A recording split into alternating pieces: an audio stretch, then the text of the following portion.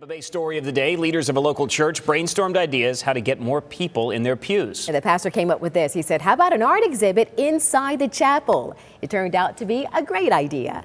ABC Action News reporter Sean Daly shows us how the exhibit is lifting up an entire community. The colors, they just bring it out of you. You walk into the space, and all of a sudden, the space is alive in a different way and it's pure joy. Father Ryan Whitley has turned the chapel at St. Thomas Episcopal Church in St. Pete into an art gallery. My creation makes me really extremely happy. What do you love about creating art?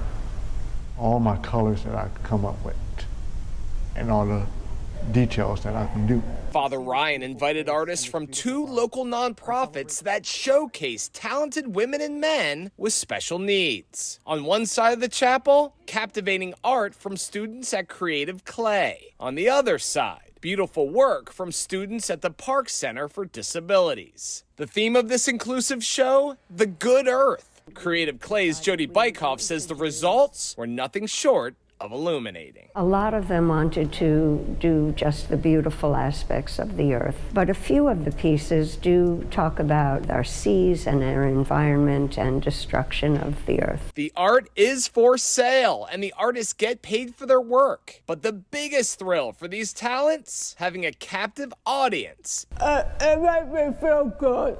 It makes me feel happy and wonderful. Guys, I'm telling you, I am blown away by both the talent and the use of color in those paintings. Aren't they gorgeous? And there's just one way, just one way you can see this exhibit.